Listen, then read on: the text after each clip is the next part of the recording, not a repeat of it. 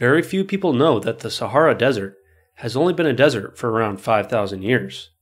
In the time of the early ancient Egyptians, it was a lush tropical paradise with more fresh water than all of the Great Lakes combined. Now, this isn't just a fringe theory, there's overwhelming evidence that we have to back this up. First of all, we have cave paintings and fossils of giraffes, hippos, and elephants in the very center of the Sahara Desert. We also have maps from the Roman times which depicts several lakes and large river systems across the Sahara. Finally, we can also see the remains of these ancient lake beds. And as you can see on that chart on the right, these were spread all throughout what we know as the Sahara Desert today. And in the center of Sahara Desert was Mega Lake Chad, which is similar to the size of the entire United Kingdom. So today we'll be looking at both the mainstream and alternative views of how this change happened. And so, with that being said, make sure to like and subscribe, and let's get right into it. Now, the first thing that you can realize when you look at a globe of the Earth is that along the equator, this is the most vegetated area on the planet. And this is obviously because there's much more rainfall in this area. Now, if we look into the seasons of winter and summer, we also see that we have monsoons, which are periods of significant rainfall on either the northern hemisphere or the southern hemisphere.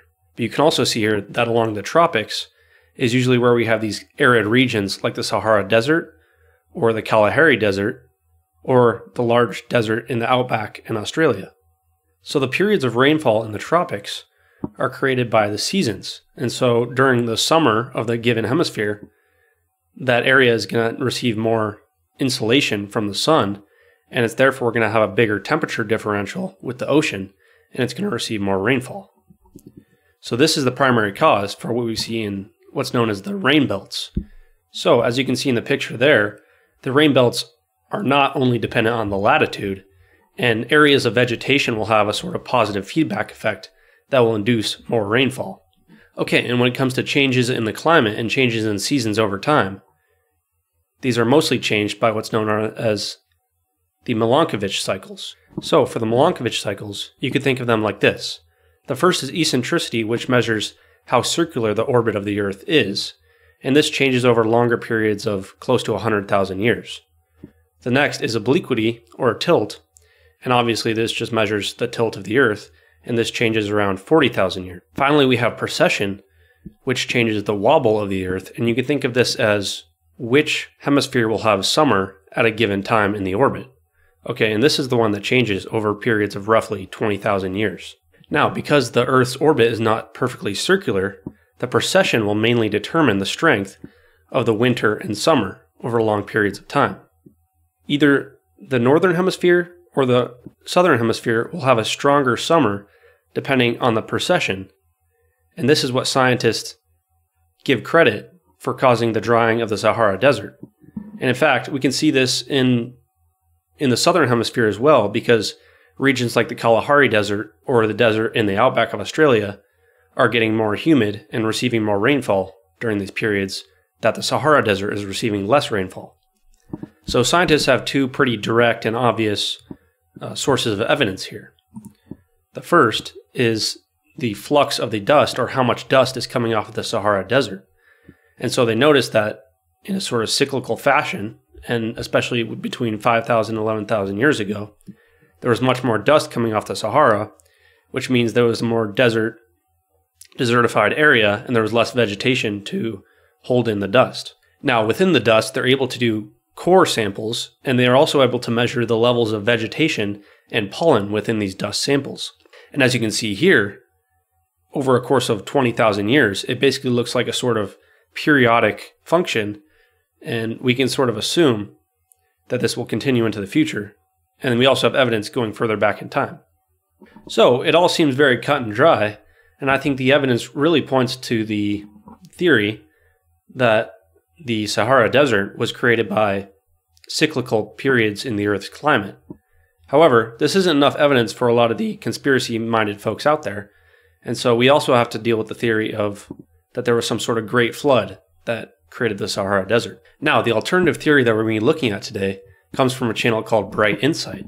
And he's basically famous for having this theory that what's known as the Eye of the Sahara or the Richat structure is the location for Atlantis. Now, I'm actually a big fan of his channel, and I think he has a lot of good content out there. And I actually think the first part of this theory, um, that that location at least inspired Atlantis, or possibly was an Atlantis of some kind, actually has a lot of good evidence. But when it comes to a great flood destroying all the evidence there, I think it just simply doesn't add up. So, the core of this theory comes from these major erosion patterns that we can see from space in the Sahara Desert. And you can see that these are very dominant, but right away we can also notice that these same exact erosion features are also present in the Kalahari Desert and the outback in Australia and a lot of other deserts around the world, including the Arabian Peninsula. So that's the first thing that we need to keep in mind is that for this to be true, there needs to be some sort of global flood around the entire Earth. Now, the most energetic tsunamis that we've had in the last 100 million years, of course, come from the Chicxulub impact 66 million years ago, which was the asteroid that killed the dinosaurs. So we're going to be using this to see if a global flood is possible and to see if even a regional flood in an area like the Sahara is possible. So in this paper, these scientists decided to do a simulation of the Chicxulub impact. And as you can see, when it comes to a global flood, the waves only get to 5 meters tall. And here in this finite element simulation of the actual uh, local area, the effect is also much smaller than you might expect. So, moving on, you can see in this local area, the waves do get to around 1,000 meters or 500 meters. But again, this is a wave that's moving through an ocean. So, you wouldn't be able to sustain these levels of waves over land because there's no water on land, of course. Now, over the entire Earth, you can see here, the waves don't get higher than around 5 meters. So, it's not going to have a similar effect in both Australia outback and in the Sahara Desert. It's just impossible. And also, I should say, earthquakes are almost nowhere near the level of energy as the Chicxulub impact, even mega volcanoes. Okay, now for that local area, you can see even within the Gulf of America, or what's known as the Gulf of Mexico, uh, the height of the waves only gets to around 50 meters by the time it hits the land there. Okay, and again, it, it, doesn't go nearly as far once it actually hits the land. Okay, now you can see here it, it uh, the asteroid hit right at the peninsula in Mexico there, and so those 50 meter waves only went around a thousand kilometers by the time they hit land, and then they quickly dissipated. Now, if we look at the Sahara Desert, these erosion lines go much further than this, and again, there's no water to keep restoring the wave. So it's just simply impossible for a wave from even a Chicxulub sized asteroid to go further than a few hundred kilometers. Now, it also sort of gets obvious when we look at the elevation of the Sahara, and you can see that these erosion lines are not following the topographical lines and they're not flowing how you'd expect water to flow, which would be in the direction of the gradient of the elevation. Okay, and so you can see the Sahara Desert has a lot of different elevations. And so if it was water erosion that we would see, we would expect to see these channeling effects. Okay? And the reason we know to expect this is because we actually have evidence of a great flood type situation in Washington state in the United States. So, at the end of the Ice Age, we had something called the Cordilleran Ice Sheet, and this is what formed the Puget Sound where Seattle is today. But there was also a giant lake that was trapped in the ice sheet called Lake Missoula, and when this ice dam broke, it created a massive flood across the state. Now, the reason we know this happened is because of what we call the channeled scablands. Okay, so it's that orange area you can see there today. And it basically removed all of the topsoil from these regions. And so you can see these channeling effects and what's left over from all this water erosion even today, thousands of years later. Now, when we compare this to the Sahara Desert, it looks completely different. And the lines are going perpendicular to the elevation gradient. Okay, so as you can see here, this is on the side of a mountain, and it's, I'm not going to say it's wind, but the erosion is going around the mountain um, and not following the elevation lines, and also not creating any channels.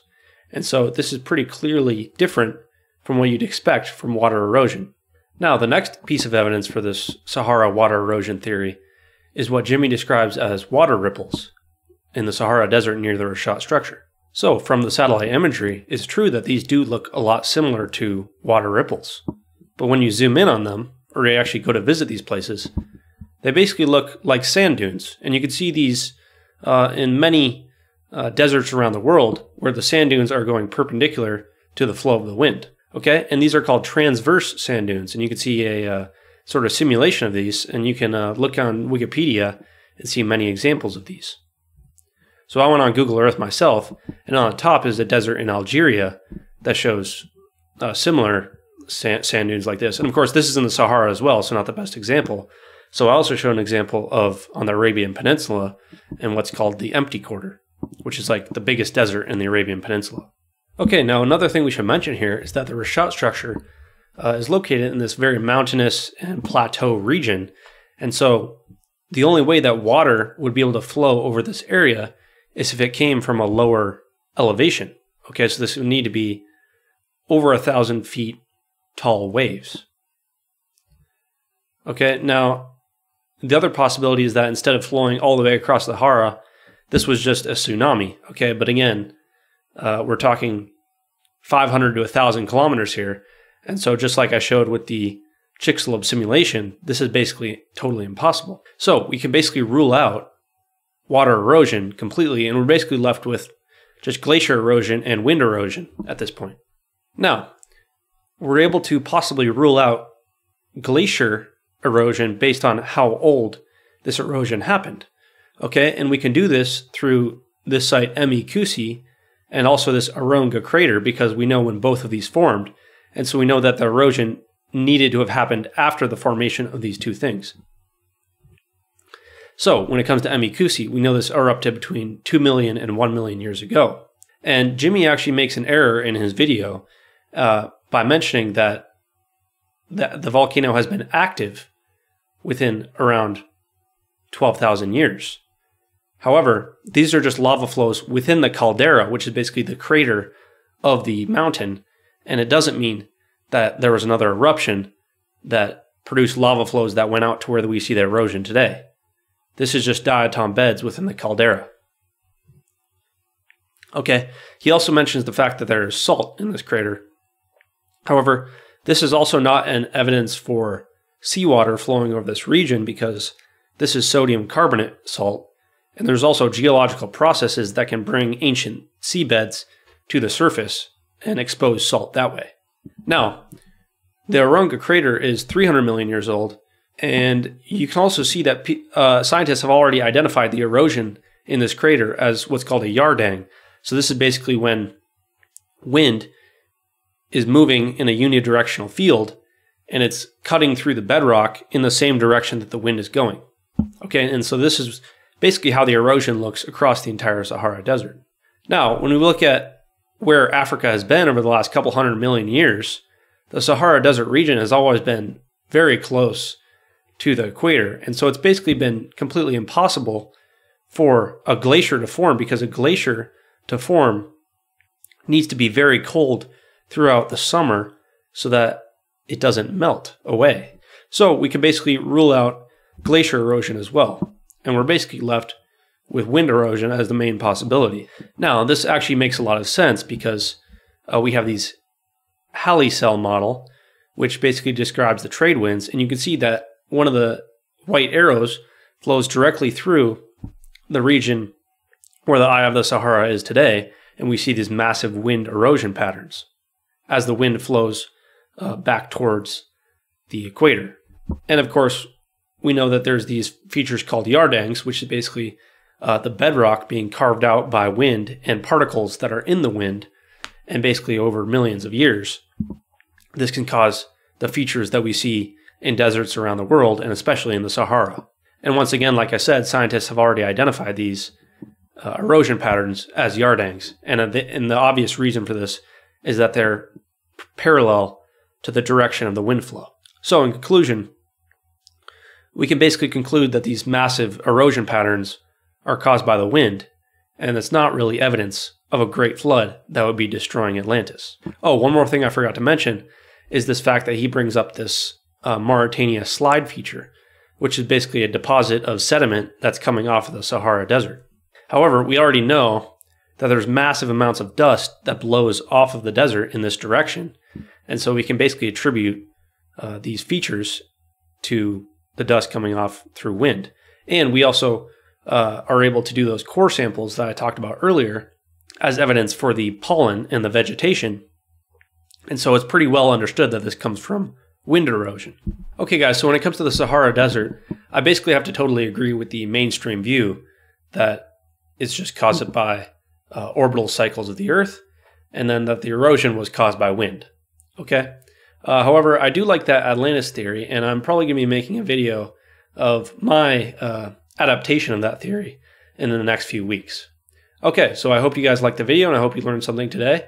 So make sure to like, subscribe, and share. And with that being said, thanks for watching, and have a great day.